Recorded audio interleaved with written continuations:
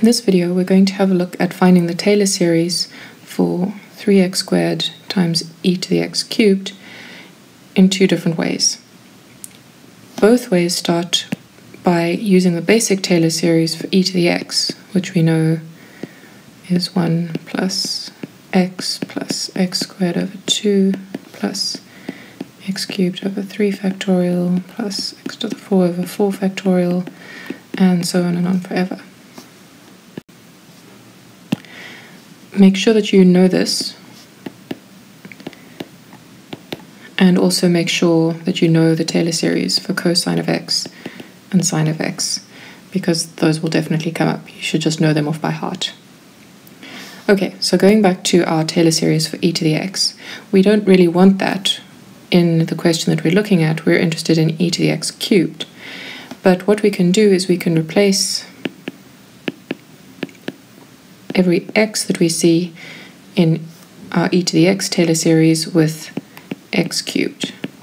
So then what we're going to get is an e to the x cubed is equal to 1 plus x cubed plus x cubed all squared over 2 plus x cubed all cubed over 3 factorial plus x to the 3 all to the 4 over 4 factorial, and we'll keep going. And if we just write that out a little bit more neatly, we've got 1 plus x cubed plus x to the 6 over 2 plus x to the 9 over 3 factorial plus x to the 12 over 4 factorial, and so on and on. Now, the first way of getting our Taylor series for our f of x is to just notice that really what we want is we want 3x squared times e to the x cubed. So what we can do is we can just multiply our Taylor series that we found over here by 3x cubed.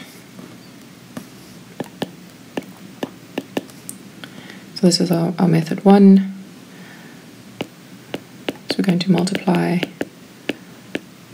by 3x squared. So if we do that, then we get 3x squared e to the x cubed is 3x squared times our 1 plus x cubed plus x to the 6 over 2 plus x to the 9 over 3 factorial plus, and I'm not going to write any more terms. And if we simplify that, then we get 3x squared plus 3x to the 5 plus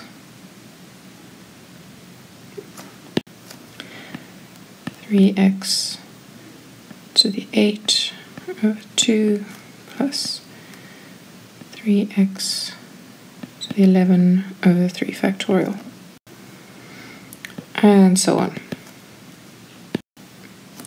So that's the first method that we've had a look at getting our Taylor series for 3x squared e to the x cubed.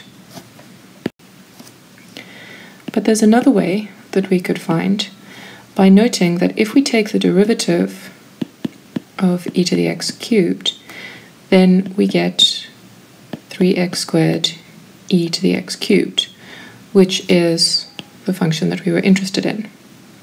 So this tells us that if we take take the derivative of our Taylor series